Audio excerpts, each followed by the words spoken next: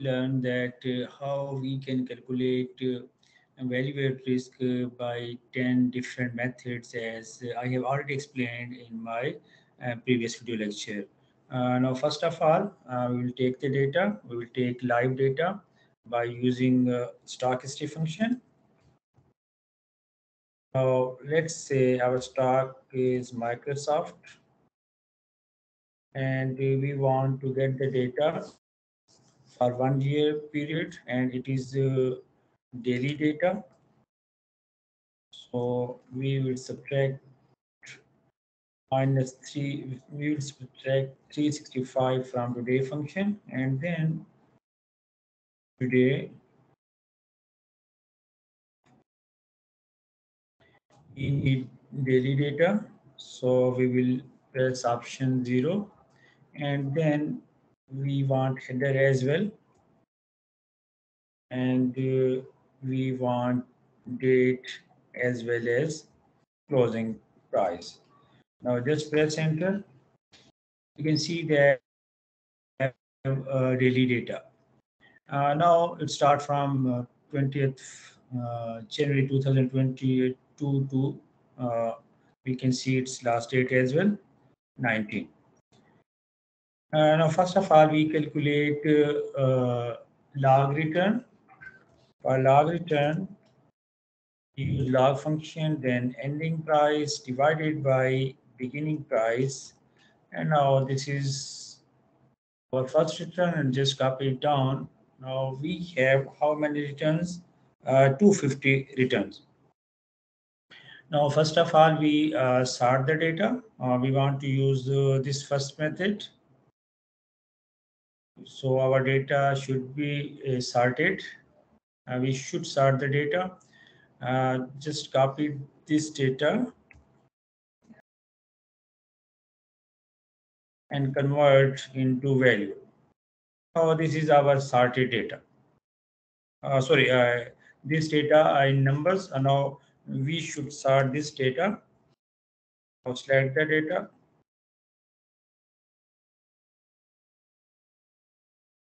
and then go to here and then A to Z and continue with current selection.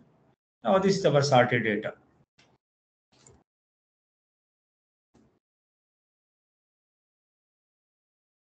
Now, for example, we have investment amount that is uh, 100,000. Now, total number of observation, E probability to get the VAR, uh, confidence level for delta VAR, and then level of significance. So first we will count the number of observation with the help of count function.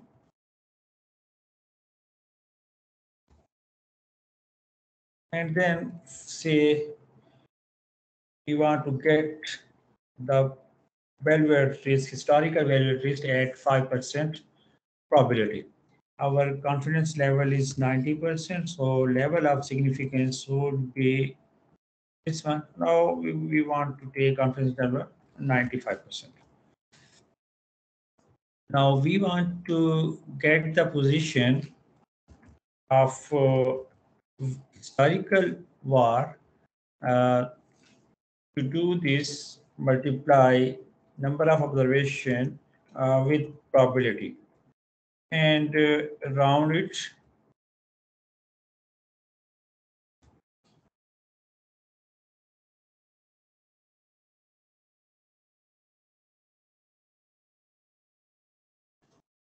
To two uh, zero decimal places. Now the position is 13 and just uh, count where this position exists. Uh, now, this is the position, just highlight it. So you can get uh, value risk by first method manually.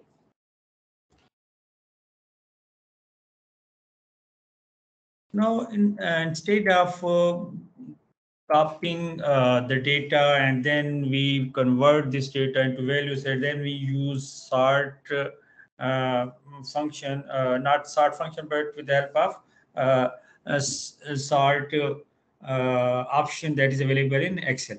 And now we can use sort and rank function as well. But, but before going to use this one, with the help of small function, we can get this value at risk as well. Small. Now our data start in from C4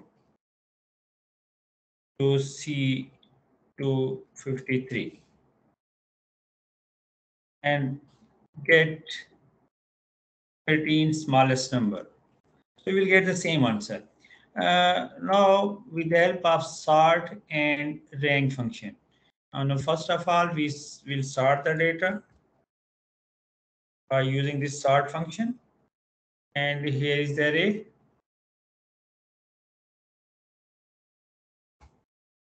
and then uh, we have a sort index. Just leave this one. And then uh, in ascending order use one option. You can see that here we have the sorted exactly the same and it is much easier. Uh, now to get the, uh, the, position right position, we should rank uh, uh, this sorted list, list as well. For this purpose, we will use the rank function.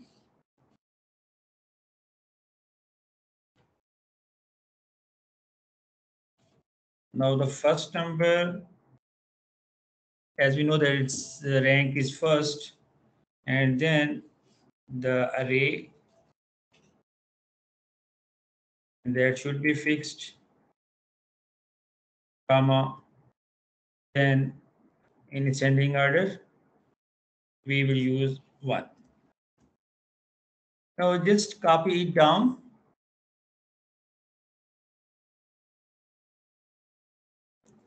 now we have ranked the list now after using sorting function and rank function we can get this value at risk manually and just pick this one.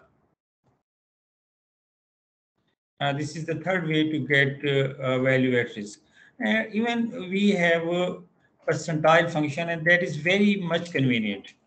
Just use percentile function and then here is the array.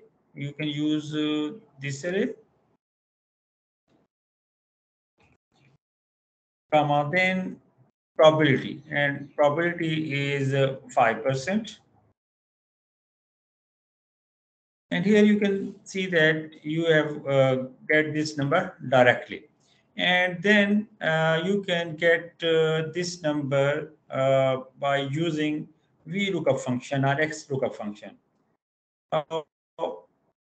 in fifth way, by using VLOOKUP, we need 13 position and our uh, table array is uh, this one.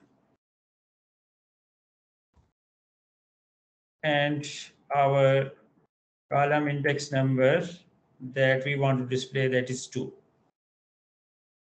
Here you can see that uh, again we have the same answer.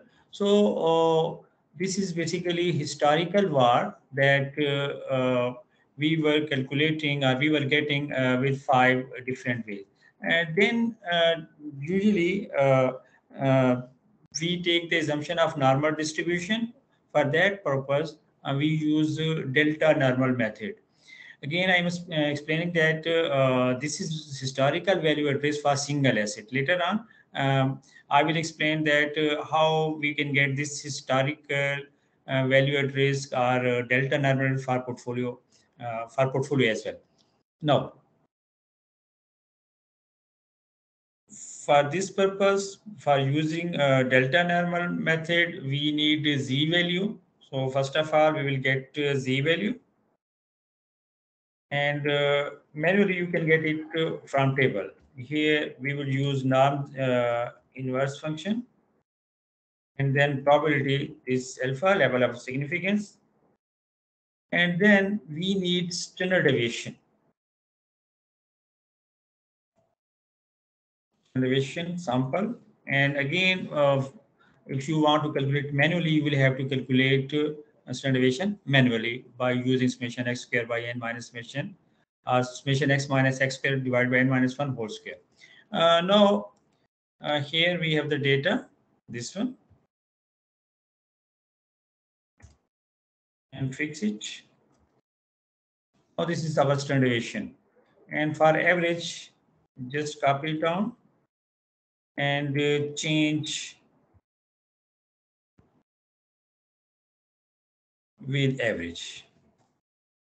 Here we have average function. Now this is average, that is mean. Now for relative var, according to delta normal method, uh, just we take uh, uh, this z value as well as uh, standard deviation. So the first one, uh, now according to explained method in my previous video, this, this is number six. So this is basically your relative var. Just we multiply these two means z table value multiplied by standard deviation. And uh, in absolute var, we also adjust uh, its average return as well. Uh, that is called absolute var. Now this one as it is adjusted for mean return. So there is a, a difference between uh, historical var and delta norm because delta normal is uh, method is based on uh, normal distribution. Now you we can check that whether the data is normally distributed or not. Uh, just go to the data. These are our returns. Select the range and go to insert. And here we have recommended chart and then use this one. Here you can see that uh, it is not exactly normal. Uh, it seems to be that uh, there is some problem of normality. Uh, uh, so we should adjust uh, this for skewness as well as for kurtosis. So thank you very much. Uh, I will explain all uh, these adjustment of value at risk uh, in my next video lecture.